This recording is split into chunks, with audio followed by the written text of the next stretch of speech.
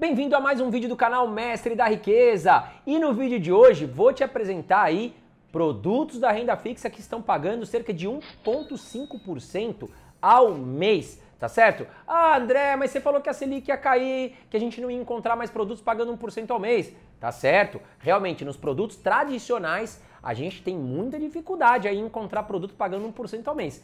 Porém, trago aqui para você um ativo atrelado à renda fixa que está pagando 1,5% aí ao mês aproximadamente, tá certo? Mas eu vou te apresentar tudo, como investir, como fazer, se tem risco atrelado ou não ainda nesse vídeo. E o que eu sempre falo para vocês, Sim, gosto de renda fixa. Eu sempre ensino vocês aqui a ter uma carteira diversificada. Tem que investir em ações? Se você tem perfil, sim. Tem que investir em fundos imobiliários? Se você gosta de aluguéis mensais, bacana. Se você gosta de ativos imobiliários, tá? Mas a renda fixa também deve estar presente na carteira de todo investidor, até porque a reserva de emergência tem que estar atrelada à renda fixa. Tá bom? E lembrando que a reserva de emergência deve ser aí investida em Tesouro Selic, CDB de liquidez diária pagando 100% CDI, porém com resgate imediato tá? Porque você possa utilizar esse dinheiro para uma emergência e as emergências aparecem quando a gente menos espera, tá bom? Então tem uma reservinha ali na reserva de emergência, em renda fixa com resgate imediato, tá? Já este produto que eu vou te apresentar aqui hoje, ele está pagando muito mais do que os produtos tradicionais,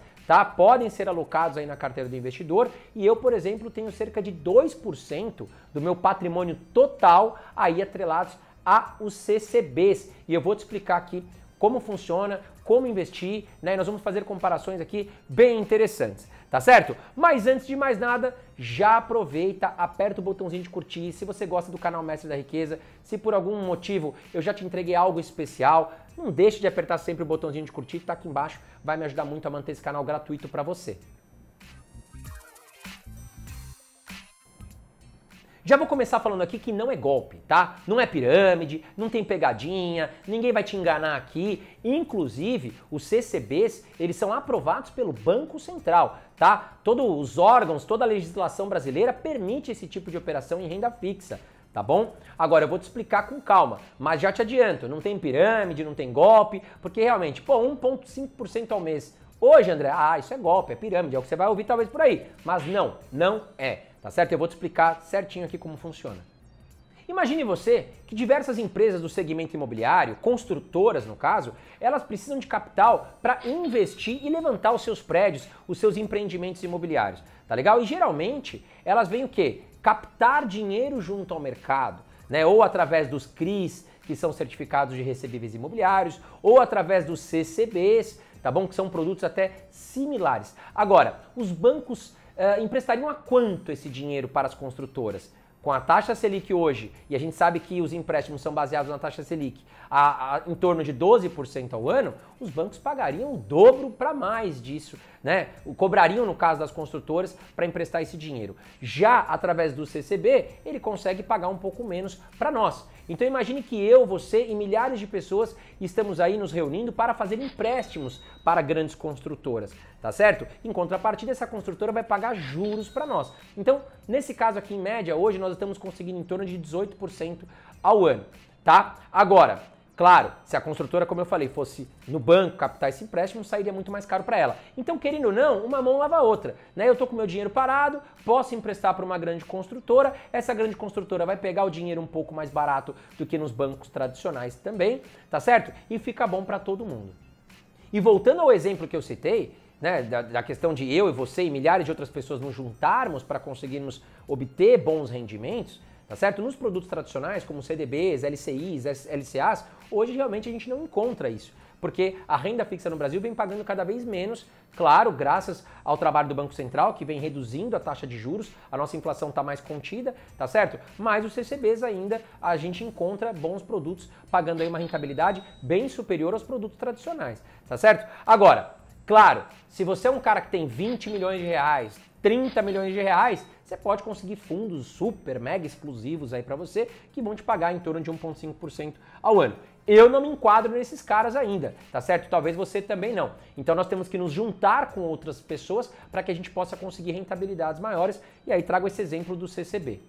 Agora, claro, antes de falar aqui, pô, André, mas esse produto é, é, tudo muito bom, não tem risco. Você está falando que não é pirâmide, não tem golpe. Realmente, não é pirâmide, é aprovado pelo Banco Central. Mas, como qualquer produto, qualquer investimento na nossa vida que a gente faça, existe algum tipo de risco. Até mesmo tesouro direto, que nós emprestamos o nosso dinheiro para o governo e é considerado hoje, apesar do governo ser uma bagunça, mas é considerado o produto mais seguro do mundo, tem risco. Se acontecer algum problema com o governo brasileiro, talvez ele não consiga devolver o nosso dinheiro através do tesouro. A mesma coisa com o CDB. Se o banco vier a quebrar, a gente pode ter algum tipo de problema. Porém, em CDBs, LCIs e LCAs, você tem a proteção do FGC, que é o Fundo Garantidor de Crédito. Tá? Então, até 250 mil reais por instituição ou 1 milhão de reais por CPF, você tem a proteção do Fundo Garantidor de Crédito. Claro, se o Brasil vier a quebrar, todo mundo quebrar, os bancos quebrarem, nem o Fundo Garantidor de Crédito também vai te defender, tá bom? Agora, se você não tem reserva de emergência ainda, não invista em CCB. Tá? O CCB é para quem já tem a sua reserva de emergência. Mais um alerta aí que eu deixo para você, tá? Então, meus amigos, é o seguinte, as instituições que procuram a INCO, no caso que eu trago aqui para vocês, que é uma instituição muito séria, aprovada pelo Banco Central e que negocia os CCBs, eles procuram a INCO a fim de captar dinheiro no mercado. A INCO, ela faz todo um filtro, né? Poxa, deixa eu ver essa construtora, tem problemas históricos, é boa pagadora, como é, que, como é que é o nível de satisfação dos clientes aqui dessa construtora. Então a INC faz todo um filtro e aí coloca para dentro essas construtoras para captar empréstimo junto a nós que estamos interessados ali em prestar dinheiro, tá? Pelas pesquisas que eu fiz, apenas 3, 4% aí de todas as milhares de negociações que foram feitas na INCO através de CCBs tiveram algum tipo de problema, tá certo? Agora, se tiver um problema, poxa, a construtora veio a falir, teve problemas, não conseguiu pagar os juros para nós, o que acontece? Tá? A INCO aí vai entrar junto a você com processos judiciais para que esses imóveis que estão sendo construídos ou outros imóveis até da construtora, né, sejam vendidos, sejam penhorados, enfim, para devolver esse dinheiro, tá certo? Claro, o, o risco existe. Até por isso que você está recebendo um percentual muito maior do que os produtos tradicionais. Poxa, André, eu sou muito medroso, mas muito medroso, tá certo? Coloca ali 1% do teu patrimônio total em CCB. Você pode começar investindo hoje com 500 reais. Tá? É muito baixo frente a produtos tradicionais, que muitas vezes para você conseguir uma boa taxa é mil reais o mínimo, cinco mil reais o mínimo. E aí, por ter um valor de entrada baixo, que é 500 reais no caso, você consegue até diversificar em mais produtos. Né? Então você tem lá cinco construtoras que estão pedindo dinheiro emprestado. Olhou a lâmina, olhou o produto, gostou da, da, do que leu ali, tá certo? Você pode colocar 500 reais em cada um. Ou seja, você está distribuindo o seu risco em vários produtos e conseguindo rentabilidades muito acima dos produtos tradicionais.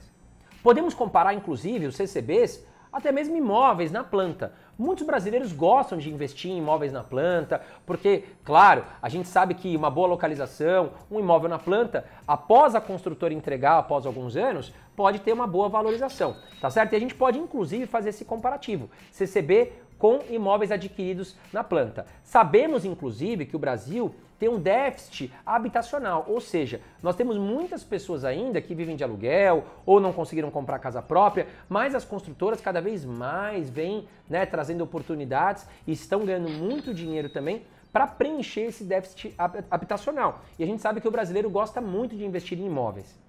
E aí, por que, que eu faço esse comparativo de um CCB com um imóvel na planta? Bom, imagine você que você chegou lá num terreno, não tem nada construído ainda, mas a construtora está te oferecendo um projeto futuro, que ainda vai ser construído, tá certo? Por isso que a gente fala que é um imóvel na planta, tá no terreno ainda.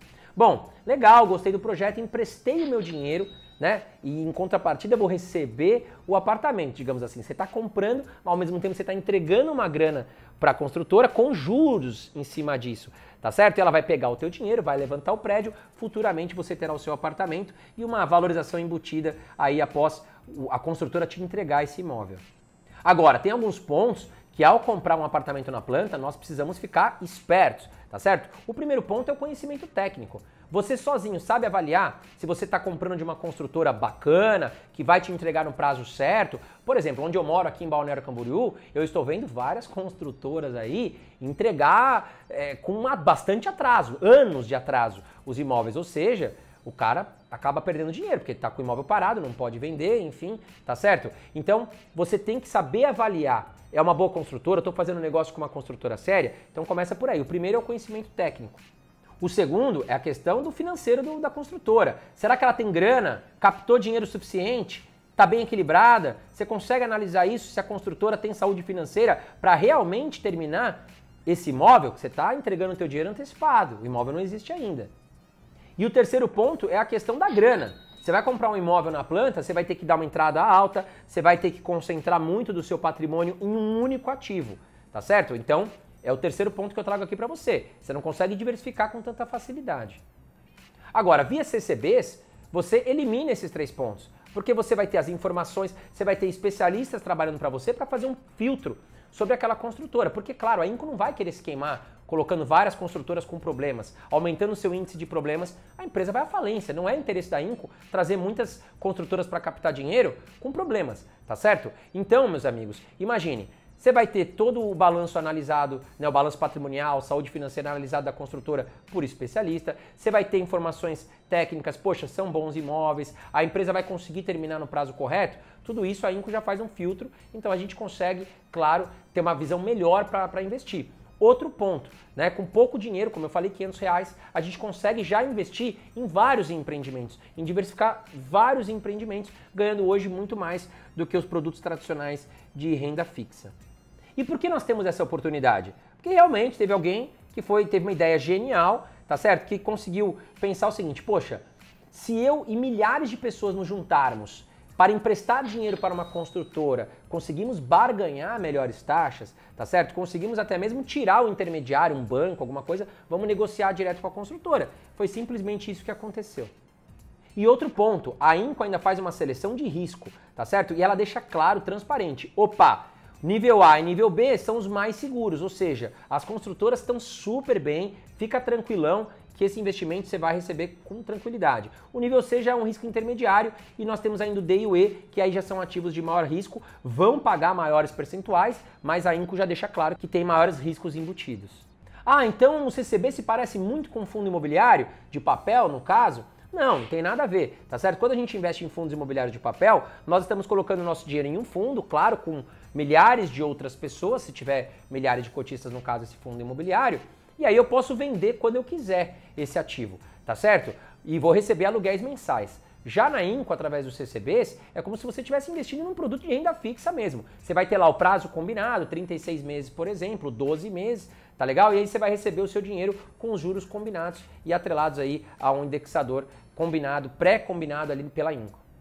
Bom, então é isso. A Inco é uma empresa hoje muito séria, ela tem todos os seus documentos, tudo aprovado pelo Banco Central, todas as suas operações são legítimas, não tem golpe, tá certo? Já são mais de 140 mil clientes hoje e já levantaram, pra você ter ideia, meio bilhão de reais em CCBs. E sendo que desse meio bilhão de reais, apenas 3 a 4% tiveram algum tipo de inconveniente que teve que ir para a justiça e aí, claro, tem que esperar um pouquinho para receber, tá bom? Por isso que eu falo, procure investir mais ali nos produtos A, B, C de risco, você vai ter uma boa rentabilidade e mais segurança. Agora, como é que eu faço, André, então, para encontrar aí e abrir a minha conta na Inco? Lembrando, a abertura de conta é gratuita, tá certo? É um parceiro sim do nosso canal, tá bom? Traz boas oportunidades, eu mesmo invisto na Inco, por isso que eu aceitei fazer aqui né, a divulgação da Inco para vocês, tá certo? Abrindo aqui, sendo bem transparente como eu sempre sou com vocês, tá bom? Então são operações legítimas, não tem golpe. Para quem gosta né, de, um, de um risco mais calculado, tá certo? Já tem sua reserva de emergência e pode diversificar esse patrimônio ali com 500 reais aqui, 500 ali, tá certo? É um bom produto. Vou deixar o link de abertura gratuita, não cobra taxa mensal, nada, nada, nada, tá certo? Aqui embaixo, nos comentários fixados, tá bom? Ao abrir a conta, utilize o cupom André Janeiro Dias. Por quê? Você vai estar tá ajudando o nosso canal e além disso também, você vai estar tá ganhando 1% de cashback sobre o seu primeiro investimento, tá certo? Então vem aqui embaixo, comentários fixados aqui para você, abra sua conta gratuita e dê uma olhadinha lá nos produtos, tá legal? Comece com 500, depois você começa a diversificar uns produtos também, que tudo vai dar certo. Gosto bastante, parceiro do nosso canal, a Inco aqui, super aprovado pelo Banco Central. Um grande abraço para você, não esquece, hein? Aperta o botãozinho de curtir que tá aqui embaixo que me ajuda muito a manter esse canal gratuito.